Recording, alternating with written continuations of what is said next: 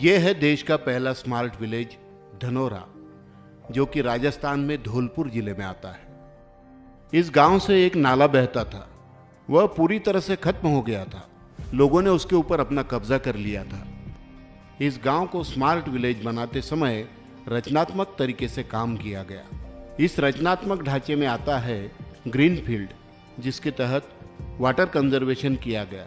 Water conservation करते समय यह ध्यान रखा गया कि ज़्यादा से ज़्यादा किसानों को सिंचाई का लाभ हो। रिवर लिंकिंग जैसे इस गाँव में पर्कुलेशन टैंक जोड़ कार्यक्रम हाथ में लिया गया।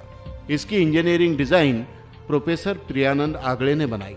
गाँव के सुपुत्र डॉक्टर सत्यपाल सिंह मीना, जो कि आईआरएस ऑफिसर है, जिनकी तीव्र इच्छा के कारण और गाँव के प्रति लगाव के कारण यह कार्य सफल हो पाया। इन्होंने गाँव के लोगों को इस काम का महत्व समझाया और आम सहमति से लोगों को समझाकर गाँव में पर्कुलेशन टैंक और उसको जोड़ने वाली ढाई किलोमीटर लंबी 12 से 15 फीट चौड़ी और 10 से 12 फीट गहरी कैनल बनाई गई। और इस काम से एक बार में लगभग 100 एमएलडी पानी ज़मीन में रिचार्ज होता है। बारिश के दिनों में लगभग चार बार यह रिचार्ज होता है। यानी कि ज़मीन में 400 एम पानी रिचार्ज होता है।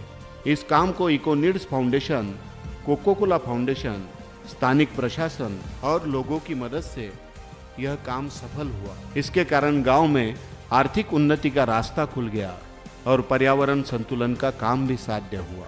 शायद ही देश में ऐसा कोई गाँव हो जहाँ इतने बड़े पैमाने पे वाटर कंजर्वेशन का काम हुआ हो।